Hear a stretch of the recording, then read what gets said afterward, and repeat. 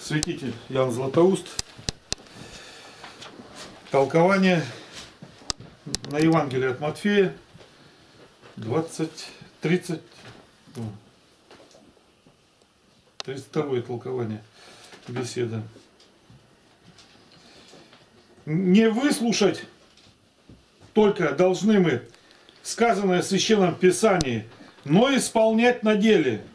Не об одних ведь апостолах сказано это, но и о последующих святых. Итак, постараемся сделаться достойными принять их к себе. Смотря по расположению принимающих, мир может и приходить к ним, и опять удаляться. Это зависит не от власти только учителей, но и от достоинства приемлющих. Не станем же считать для себя маловажным потерю, если не насладимся этим миром, о котором еще издревле провозгласил пророк, говоря, «Э, прекрасно ноги благовествующих мир, Исаия.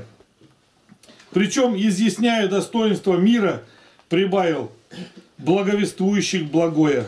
И сам Христос показал важность этого мира, говоря, мир оставляю вам, мир мой даю вам. Иоанна 14 глава 27 стих. Поэтому должно употреблять все старание, чтобы наслаждаться им как дома, так и в церкви. И в церкви предстоятель дает мир.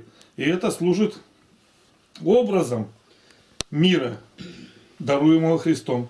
И поэтому предстоятеля должно принимать со всяким усердием, предоставляя ему не столько трапезу, сколько свое расположение. Если худо не удаляться от трапезы, то не гораздо ли хуже отвергать благословляющего?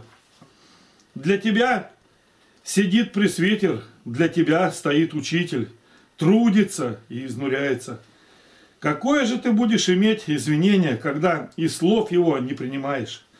Церковь есть общий всех дом, куда мы входим за вами по примеру апостолов.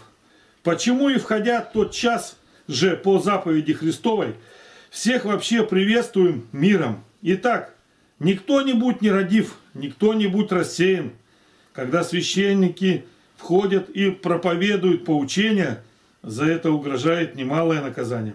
Лучше для меня тысячекратно подвергнуться презрению, входя к кому-нибудь из вас в дом, чем не быть выслушанным, когда здесь приветствуют вас миром.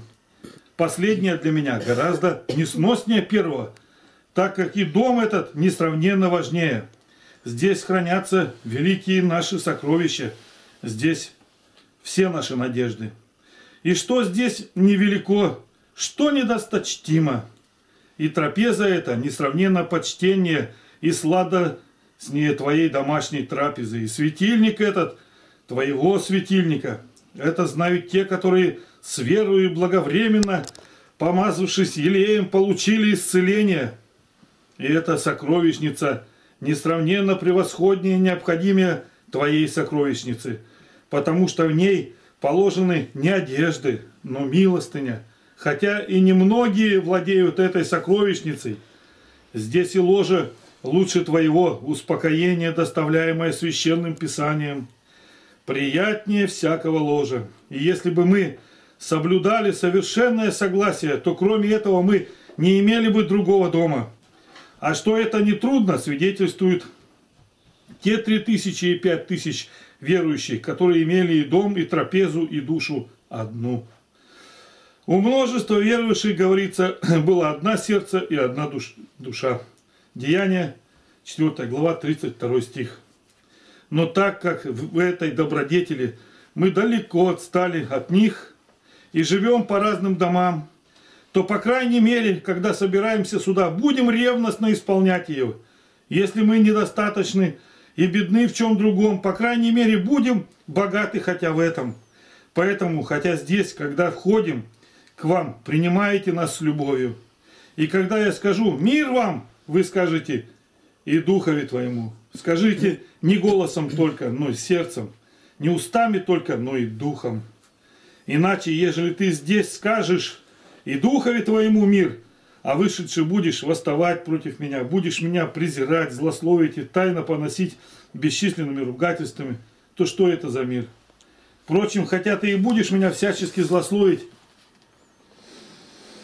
я даю тебе мир от чистого сердца, с искренним расположением, и ничего худого никогда не могу сказать о тебе.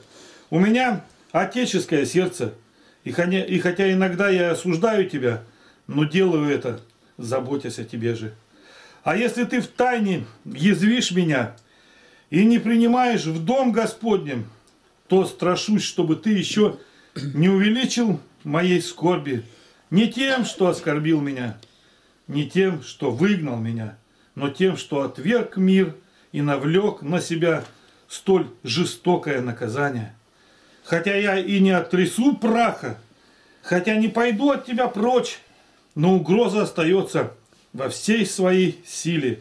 Я часто приветствую вас миром и никогда не перестану приветствовать, хотя вы с презрением и, презира... и с презрением меня будете, меня будете принимать, я все-таки тогда не отрясу праха, не потому, чтобы я не хотел повиноваться Господу, но потому, что весьма горячо люблю вас.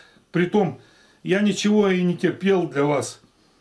Не предпринимал дальнего путешествия, пришел к вам не так, как приходили апостолы, ничего при себе не имея, за что и виним наперед, наперед себя винил. Пришел не без сапогов, не без другой одежды. Почему, может быть, и вы упускаете своей стороны должное? Только этого недостаточно для вашего оправдания. Пусть мы подвергнемся большему осуждению, но это немало не служит к вашему извинению. Господу нашему слава во веки веков. Аминь.